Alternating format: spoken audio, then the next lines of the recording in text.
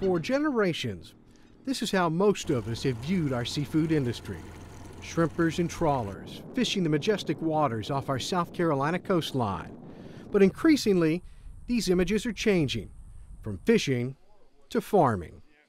Over the years, I've met hundreds of farmers, and one thing you learn quicker than any other is that they all share a hardwired trait geared towards constant innovation. These things are, are baby manufacturers. Mean, they breed every 28 days. Rick Eager is fond of his tilapia, a species relatively unknown to most of us a few years ago. It's now a prime source of revenue. Years ago, Eager founded Swimming Rock Fish Farm on this pristine piece of property.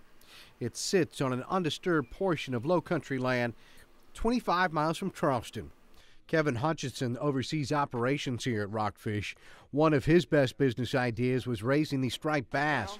Seafood chefs absolutely love this fish, so Kevin began to sell them whole and live directly to restaurants all over the low country.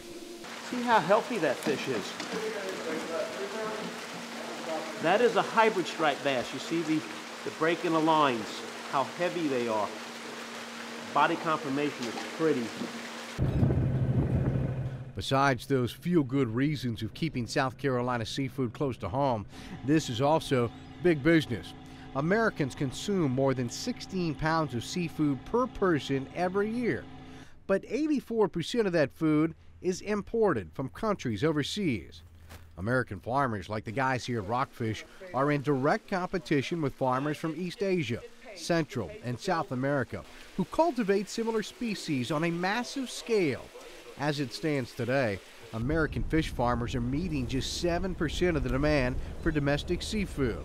One government group who tracks the seafood industry says the trend towards added imports should be addressed. The head of NOAA's Fisheries Service says the U.S. needs more sustainable domestic aquaculture to help meet consumer demand for healthy seafood and to narrow the widening foreign trade gap with our rivals.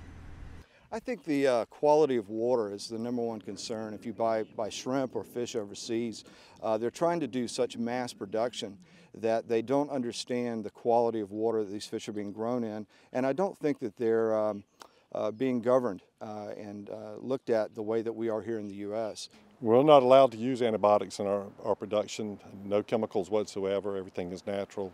We have to make sure the environment in which we're growing our, our seafood or, and our fish for stocking programs are kept in the best conditions possible for them. It's important that they remain healthy and so we have to make sure water quality is, is good for them and we take care of them. 60 miles away in Bluffton, Al Stokes manages the Waddell Mariculture Center. Staff scientists here are viewed as some of the world's most foremost experts on aquaculture and seafood sustainability. Research here on issues like those antibiotics we just mentioned, and more broadly, tracking the ever changing ecosystem, has provided multitudes of inshore and offshore fish farmers who rely on Waddell for advice and guidance about their farming business. There's a considerable demand for seafood now. Uh, aquaculture produces about 50% of the seafoods consumed in the world now, and it's going to grow. The ocean production's been flat for a number of years, been yielding no increase, and so aquaculture is going to have to, to take over that demand or fill that demand for product. And here's where you realize aquaculture isn't, can't be some passing fad. Waddell is closely involved with monitoring our ocean's fisheries. And the fact is, we simply consume and demand more seafood than our natural resources can provide. If you want to continue eating seafood at the rate that we're eating now, yes, because the, popul- the human population is increasing. Um, the per capita consumption of, of uh, fish in the United States has gone up slightly, but it's up to about a little under 60, a little over 16 pounds per, per person per year. Um, if you count 300 million people, that's a lot of pounds of food. Before we go, we're leaving you with a sneak peek at the latest installment in our award-winning documentary series, Carolina Stories.